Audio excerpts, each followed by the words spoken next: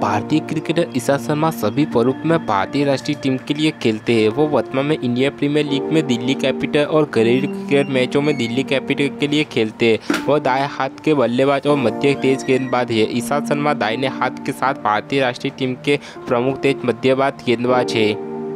वह 2006 से 2007 तक भारतीय टीम में शामिल हुए। उन्होंने हर तरफ़ की क्रिकेट खेली और वनडे टेस्ट दोनों में 100 विकेट लेने वाले पाँचवें सबसे कम उम्र के खिलाड़ी बने। सक्षम में वह एक मध्य वर्गीय तेज गेंदबाज थे, जिनकी गति अक्सर 150 किलोमीटर प्रति घंटा थी। उन्होंने रिकी पेंटिंग एक दो किलोमीटर प्रति घंटे का रिकॉर्ड तोड़ा है। इस साथ अपने शांत स्वभाव के बावजूद दस साल से अधिक समय तक भारत के लिए खेलने में सफल रहे। वह लगातार आई पी में हिस्सा लेते रहते थे और इसने भी खूबसूरत तरीके से शादी कर ली। टीम इंडिया के प्रमुख टेस्ट गेंदबाज ईशा शर्मा अपने करियर के सबसे दौर में आज वह टीम इंडिया के प्रमुख टेस्ट गेंदबाज होने के अलावा आईपीएल में भी अपना काम रहे हैं। एक ऐसा आयोजन जिसके लिए उन्हें राउंटो एडा माना जाता है। एक बार ईशा शर्मा जो पहले आईपीएल से बाहर हो गए थे, को बताया गया था कि उन पर पैसा लगा सकते हैं। हालाँकि ईशा ने अब दिखा दिया है कि वह लंबे और छोटे दोनों परूप में के लिए सर्वसेट है।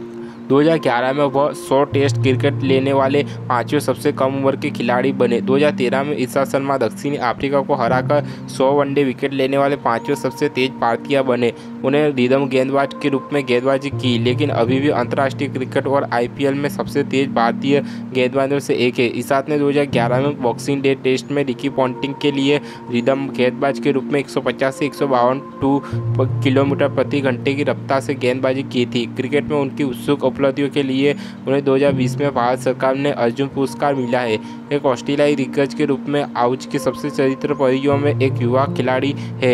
अपनी शुरुआती सफलता के बाद इसात लंबे समय तक प्रभाव नहीं छोड़ पाए हैं, क्योंकि उन्हें चोटी की चिंता रहती है। फिर भी जब भी उन्हें भारतीय टेस्ट टीम के लिए चुना गया तो उनका योगदान लगातार बना रहा। उदाहरण के तौर पर वह ऑस्ट्रेलिया और न्यूजीलैंड के खिलाफ भारत की 2010 की शुक्ला को ले लंबू अपने अंडर 90 वर्ष के दौरान गेंदबाज का ओपनर बन गया।